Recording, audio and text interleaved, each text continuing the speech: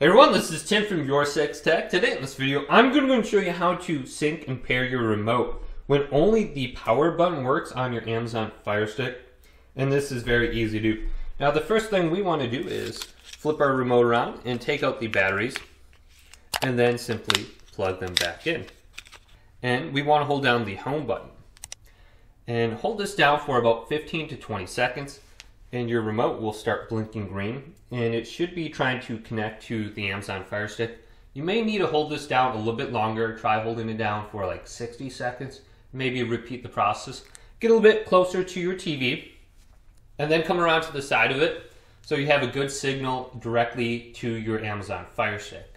So make sure you're not too far away.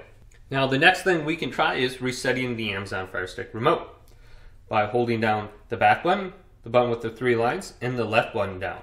So hold three buttons down at the same time, and this should reset the remote. And hold this down for about 15 to 20 seconds as well, and it may disconnect from the TV. Then once you get done holding these buttons down, your remote will be reset, and it may go ahead and start blinking green on the top, indicating it's searching for an Amazon Fire Stick to connect to. Now if this still doesn't work and it still doesn't connect, go to your Amazon Fire Stick and if this doesn't work, go to your Amazon Fire Stick and unplug it from the wall outlet and just restart it. And then hold down the home button and repeat that process. Now, if you do have a TV remote close by, you could try going to Source and go to your HDMI CEC source right here. And this allows me to control my Amazon Fire Stick with my TV remote.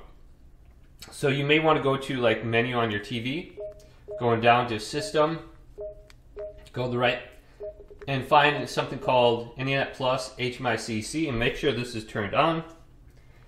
Now with this, we can go over to settings on the Amazon Fire Stick, go down, go to controllers and Bluetooth devices, then go to Amazon Fire TV remotes.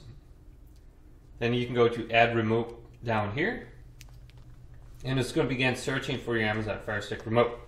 Now when you have it in that sync or pairing mode, it should connect real quick on your TV remote and then it should go ahead and pair. And now I'm able to use my remote once again on my Amazon Fire Stick. So that's probably the quickest way to pair your remote. So hopefully this video did indeed help you out. Did, leave a big thumbs up and subscribe to my channel down below for more tech videos coming up next on Your 6 Tech.